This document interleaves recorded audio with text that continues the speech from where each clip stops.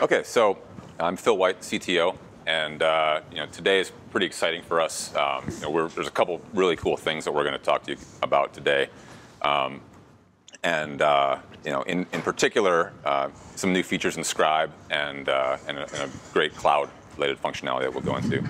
Um, but first of all, you know I you know Jeff kind of gave a, a, a, more of a product overview, a high-level overview, and uh, I want to go into a little bit of a refresher on Scribe.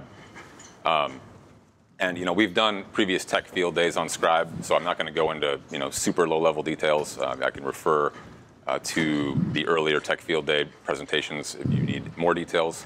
Uh, but if anybody does have any questions, we can definitely go deeper than what I'm going to present here. But this is going to be a little bit more of a, a sort of a high level. What is Scribe? What does it do? So first of all, Scribe is software-defined block storage. Um, you know, this is kind of a key component of any hyperconverged system. Uh, you have to have a way for virtual machines to access the direct attached uh, block storage that's available on these machines and have it do so in a reliable way. You know, and then beyond that, uh, the other features are just you know uh, added benefits. But you know, the idea here with Scribe is you're you're pooling together all the block devices that are available in a cluster and making those blocks available to virtual machines. It's, it's really that simple. So Scribe basically pools those together and, uh, and then uh, implements things like data reliability, snapshotting, replication, et cetera, on top of that. Um, just to give an idea of some of the high-level features here, and you know, Scribe, uh, I think the first time we presented it was probably three or four years ago. Um, Scribe's been around for close to five years now, um, and uh, you know, I, we've got thousands of deployments with it now, and uh, it's been in production since 2013.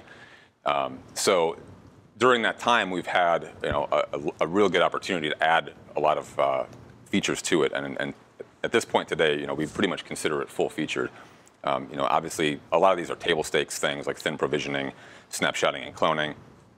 Um, you know, having it be highly available. Obviously, if a node fails, any component fails, you can't have a single point of failure. Uh, things like live migration are supported with Scribe. Uh, and, uh, and that comes in, that's, that's very important on our sort of one-click upgrades that we do, where we automatically live migrate virtual machines around, and, uh, and those block devices stay reliable through that, through that process.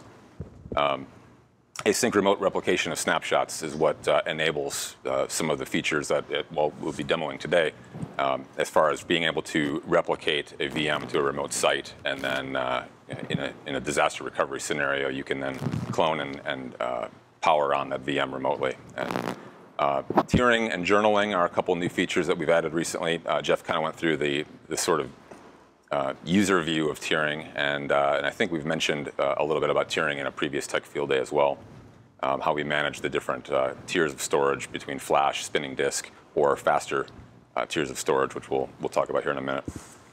Um, journaling is a, is a feature that's about to GA one of these days soon here. Um, we've also added dedupe recently. Um, and then uh, uh, things like failure recovery. Um, you know, this is kind of an, obviously another table stakes feature, but uh, Scribe has pretty sophisticated um, automated recovery handling, um, which kind of goes back to the whole ease of use of the whole HC3 system. Um, you know, we, we really uh, do a lot of in-depth testing and uh, with regards to the automation that's built into the system around, around failures. Uh, so it's, it's really a hands-off system overall.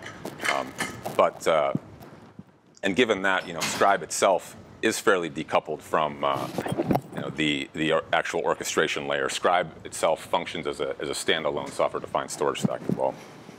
Um, so, and I already mentioned, uh, you know, we've been in production on Scribe since 2013. Um, again, thousands of deployments, and the fact that we can support all of those customers and all of those uh, deployments of Scribe and HC3 with less than 20 support staff, I think is, is testament to uh, you know, the quality and the, the level of testing that we put into it as well.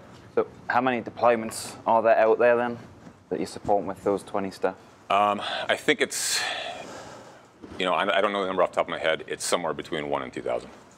So, That's pretty impressive. So. What's your average size deployment? Uh, what's average size deployment is four or five nodes-ish, I think. Craig, do you? About five. Five? Five okay. typically, yeah.